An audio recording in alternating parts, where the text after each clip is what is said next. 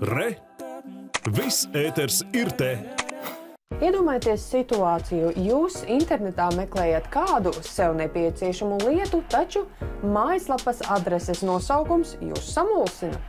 Tā atgadījies kādam mūsu skatītājam, sauksim viņu par Jāni, kurš mums atsūtīja garu vēstuli, kurā apraksta, kā internetā meklējas elektromotoru, kas viņa saimniecībā izgājis no ierindas. Ierakstu meklētājā līdzstrāvas elektromotors.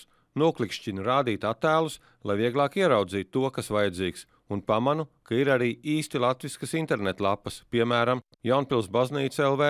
Sākumā domāju, kā gan baznīca var tirgot elektromotors. Noklikšķinu uz attēlu un pārsteigts ieraugu, kā atvēries AliExpress.com.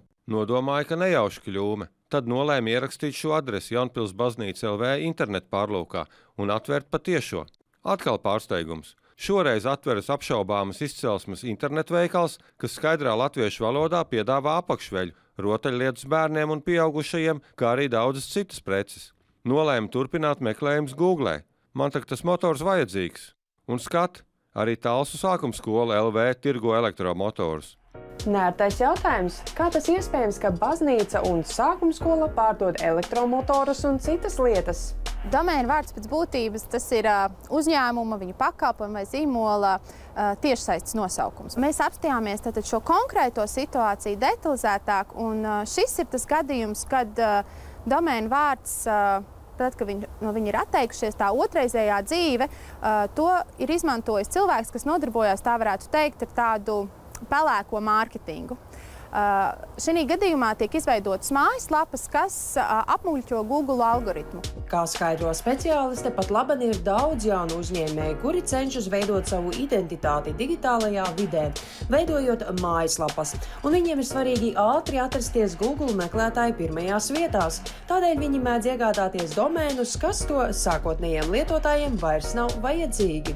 Šādi uh, cilvēki mēdz veidot mājaslapas, kuras uh, reāli lietotājiem nedara nekādu ļaunumu, jo nu, viņos inter, kā internetu veiklā tu nevar neko iegādāties.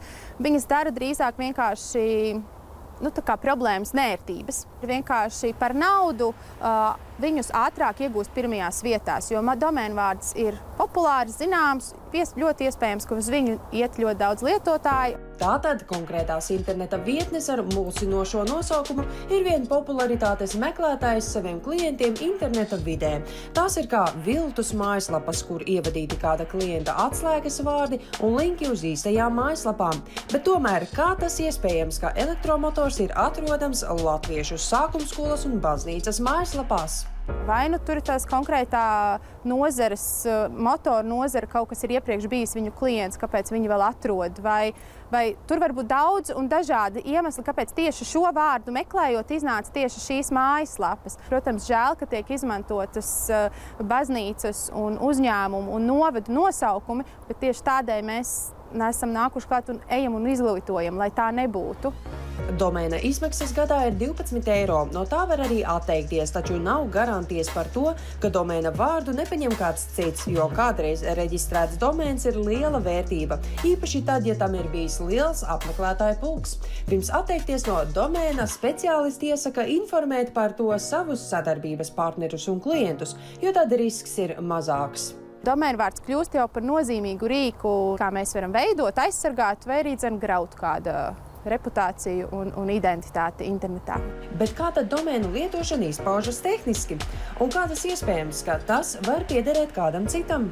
Mēs viņu reģistrējam uh, un samaksājam par konkrētu laika periodu. Kad periods iet uz beigām, uh, nu, tiek izsūtīts automātiski jauns rēķins uh, par jaunu periodu. Un, ja par šo periodu netiek samaksāts, vai lietotājs uzskata, ka šis domēnvārds viņam vairs nav vajadzīgs, tad mēs vēlreiz izsūtām rēķinu. Un tad ir šis, kā lai saka, tāds uh, bufer laiks, 30 dienas, kad domēnvārda tehniskie ieraksti tiek atslēgti. Tad viņš kļūst publiski pieejams jebkuram citam. Tomēr mums ir radies vēl kāds neērts jautājums. Vai domēna tehniskie uzturētāji nevar šādus algoritmu slavas meklētājus atpazīt un nērtības novērst? Galu galā uzreiz jau ir skaidrs, ka konkrētās lapas ir aizdomīgas.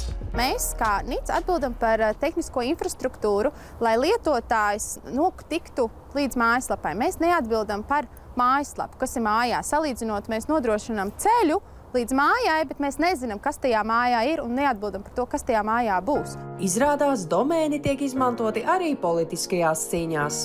Ir bijis gadījums tāds, kur Donalds Trumps arī dzen savā prezidenta kandidatūras kampaņas laikā iegādājās Džoba Buša domēnu vārdu, un viss, kas gāja apmeklēt Džoba Buša kom, bija pārsūtīti uz Donaldu Trumpu. Domēns ir tāds pats vārds kā jūsu vārds pasē. Tādēļ, ja nevēlaties, lai tas tiktu izmantots pret jūsu interesēm, vienkārši esiet piesardzīgi. Laima Valne, Alvis Balodas, 4. studija.